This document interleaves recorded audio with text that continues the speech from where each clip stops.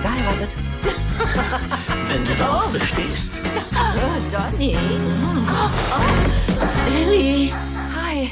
Hey, meine Ex ist da. Ich hätte dich fast nicht erkannt. Du wirkst so, so, so, so. Unerwartet. Ich hasse die ganze Bande. Mein Schatz. Bert, Du siehst umwerfend aus. du hast ein bisschen zugenommen. Alejandro. Ihre Adoptiveltern Don und Ellie sind keine Katholiken. Seine leibliche Mutter ist aber katholisch. Wir haben gerade erfahren, dass sie zur Hochzeit kommen wird. Das stimmt.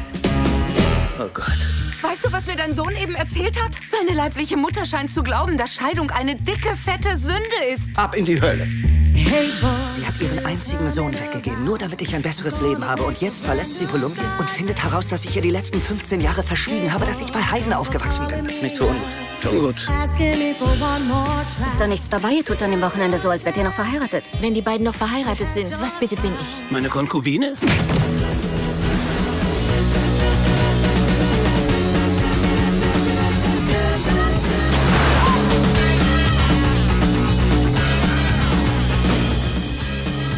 Muss doch ungemein tröstlich sein, zu wissen, dass dich nicht alle hassen. Wenn mir noch jemand eine verpassen will, nur zu.